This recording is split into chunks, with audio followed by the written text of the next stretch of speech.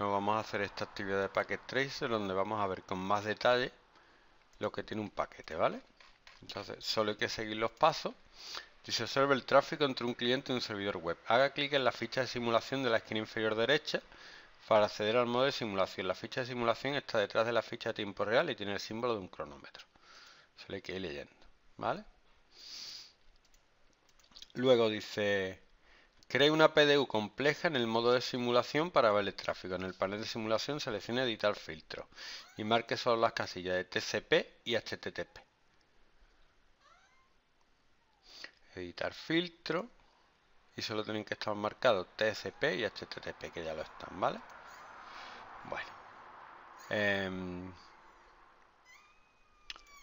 seguimos. Dice haga clic en el sobre abierto que está sobre el icono del modo de simulación para agregar una PDU compleja. Bien. Hacemos clic sobre el icono. Haga clic sobre el cliente externo para configurarlo como origen. El cliente externo es este. ¿Vale? Dice cambie los siguientes elementos de la PDU compleja. Para configurar la PDU compleja. En la configuración de PDU, la acción seleccionar aplicación debe configurarse en HTTP. ¿Vale? Clic en el servidor Cisco para configurarlo como dispositivo de destino. Cisco Learn este. ¿Vale? Bien. Ahora. Para el puerto de origen, escriba 1000. Source IP address. Starting source ports 1000. Puerto de origen.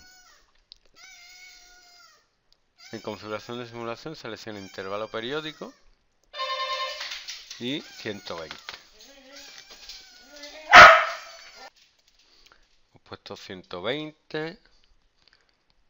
Crea la PDU. Para hacerla en la, en la casilla, crear PDU de la ventana, crear PDU compleja. Aquí. Ya está creada la PDU compleja. ¿Vale? Dice haga doble clic en el panel de simulación para desacoplarlo de la ventana. Ahí está desacoplado.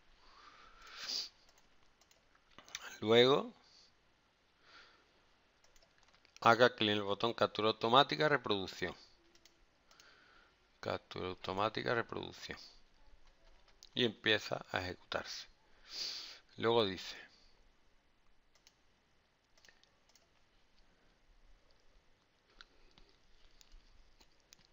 Se visualiza la información de encabezada de los paquetes que viajaron a través de la red. Examine los encabezados de los paquetes enviados entre los clientes y el servidor.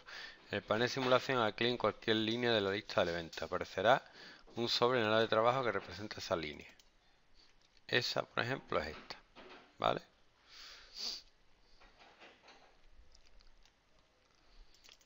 Luego.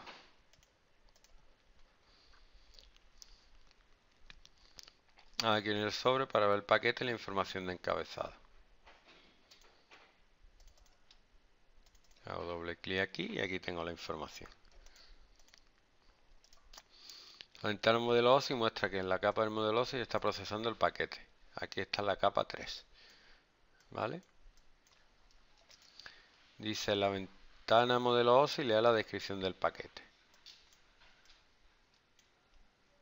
La descripción es esto.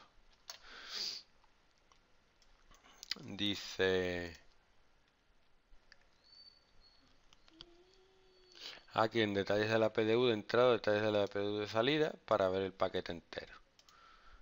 Muy bien.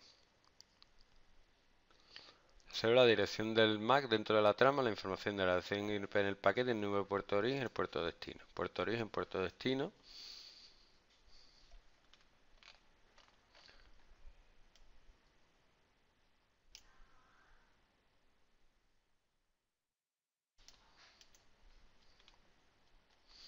Y que mire los demás paquetes. ¿Vale? Pues nada. Ese es este ejercicio.